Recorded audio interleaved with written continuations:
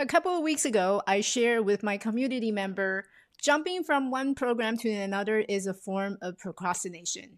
Is that who you are? Then you need to watch this video.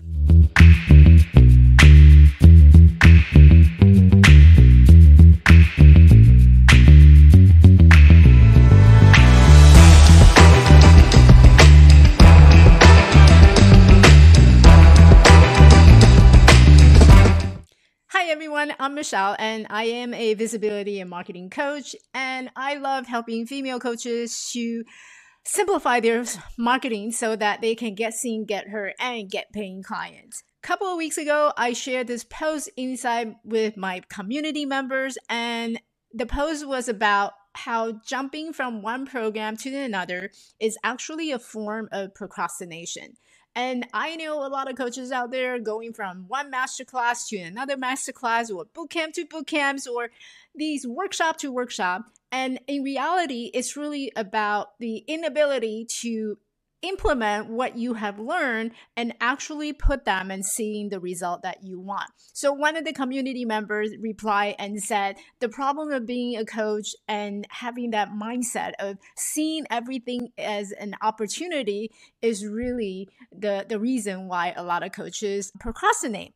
And there's so many things, so many lessons that's out there. So if you're finding yourself learning from one source to another and jumping from one program and then to another, this might be the reason. But this is only one tip of the iceberg in terms of all the things that you would like to do in your coaching business, but you just somehow could not get to it. So today we're going to talk about why constantly jumping from one program to another or one learning resource to another is the biggest roadblock and what are the five mistakes that coaches are currently making that is very deadly and costly. So let's get started.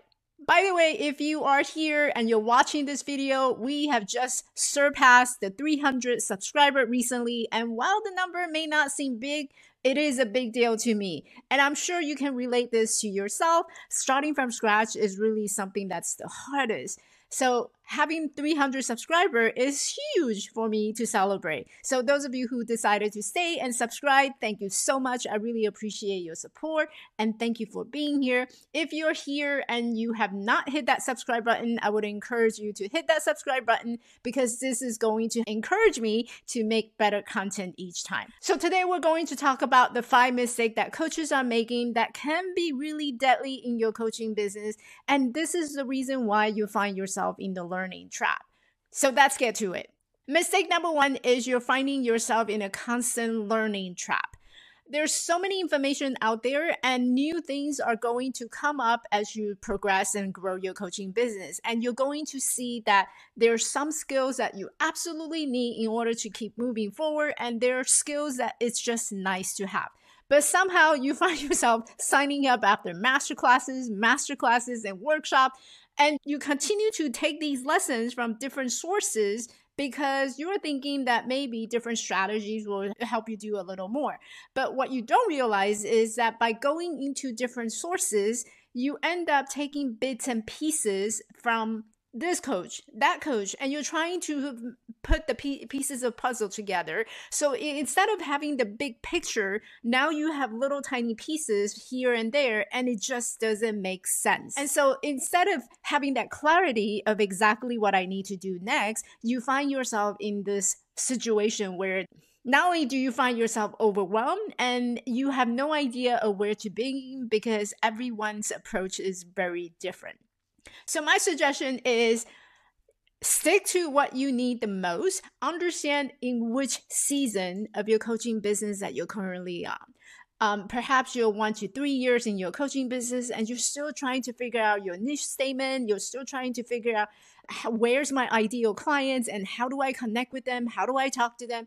And perhaps that is something that you need to learn from one source and one source only. So until you master that, do not attempt to pick up new skills or new knowledge because that will only put you in an analysis paralysis state. Now, if you are someone who's moving forward and you're ready to scale, maybe you're looking into launch your business, maybe you're looking into email marketing, all these different type of strategy where you can expand your coaching business, perhaps that is exactly what you need to learn. But again, you want to stick to one learning resource, master that before you jump into the next. Otherwise, things are just going to be very scattered and you're confused and there's just so many things to do. New things is always going to come up. And so you don't want to be in that constant learning trap where you're not actually seeing any progress Mistake number two is lack of implementation. So, this one is actually related to the last one that we talked about. You have all these learning tools and skills that you have collected over the years, and then somehow you just never implemented them. And you can learn from one teacher, but one teacher can only show you through the door. It's up to you to actually walk through that door and take some action step in order to see the result that you want. So mistake number 2 is not implementing them. So eh, you find yourself continue to have these learning and it's like collecting tons of cookbook reading it from cover to cover but yet nothing really came out from the oven. So remember, information is only valuable as application. So once you learn it, implement it, test it out, run with it, and this way your result can tell you what your next step would be. Mistake number three is to give up too quickly.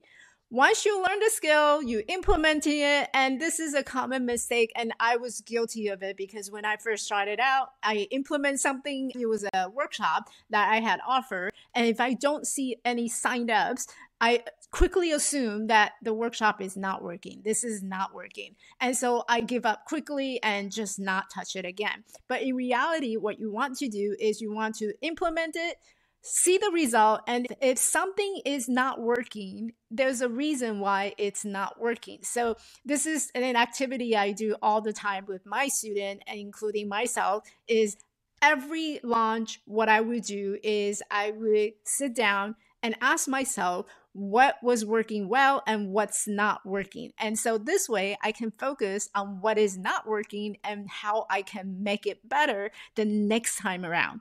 And so you want to continue to give yourself assessment in terms of all the things that you're doing in your coaching business, what went well, including your discovery call.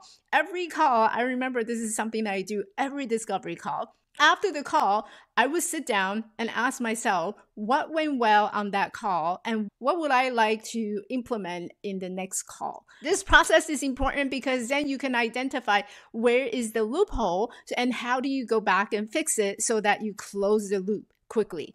And this is the process I implement in my own business all the time is by asking what went well and what can I do better next time. This way I can see the opportunity of how I can run with it again, repeat and so that I can rinse out and flush out all the things that didn't work this time. So don't give up quickly if you don't see the result that you desire. There's something that's in your work that we need to look at because essentially there is no perfect strategy. There's a strategy that works for you. And in order for you to identify what is that perfect strategy for you, we need to learn from the mistake that we have made and either tweak it or perfect it or make it better next time so that we can continue to grow and thrive. Mistake number four is niching down too early. I know this is so controversial because there's so many different school of thoughts when it comes to niching. Some said you need to niche down as early, as quickly as possible. Others said don't niche down. My philosophy is simple and it this goes back to business marketing 101. And your market will create demand and your demand will create supply. So if you niche down too quickly without understanding what your market actually needs and wants, then you're creating a supply and you're putting yourself into this tiny little bubble where there is no demand on the things that people will want to buy. And there's a lot of example of how niching down too quickly and too early or too narrow can actually hurt your business than actually helping it. So for example, you remember the Segway that came out where it's all about revolutionizing people's transportation. And it costs $5,000 for the damn thing, but it has no practical use. If I live in the city and it's a short distance, I can simply just walk to where I want to be. Why would I want to spend $5,000 on a Segway to get me there?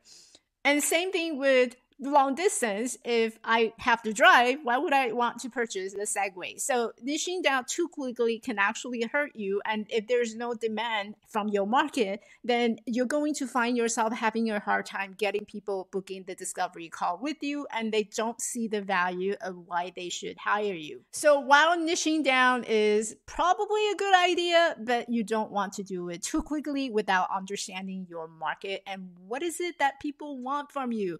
And that is the most important thing and the most important questions that you should be asking yourself. Mistake number five is not niching down when it is time.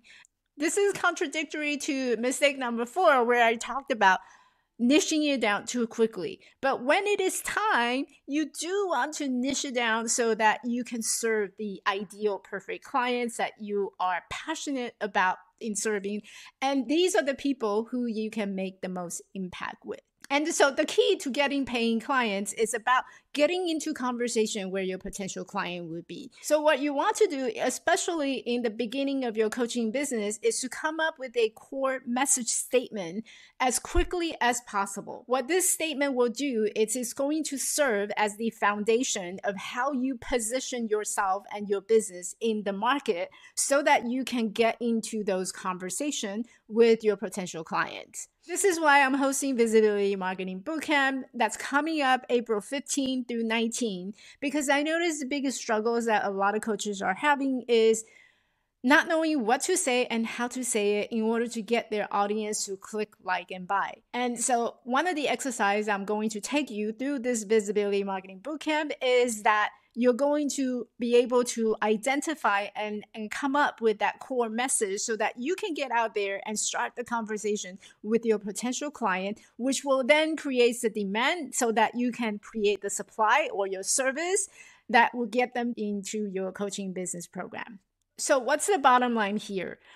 Today, I have shared five deadly mistakes that's holding you back in this procrastination and a constant learning loop. You got to remember, broaden your horizon is great. But when it comes to growing your coaching business, it's important to understand it's how deep you go and not just scratching the surface of a system or strategies that you have learned.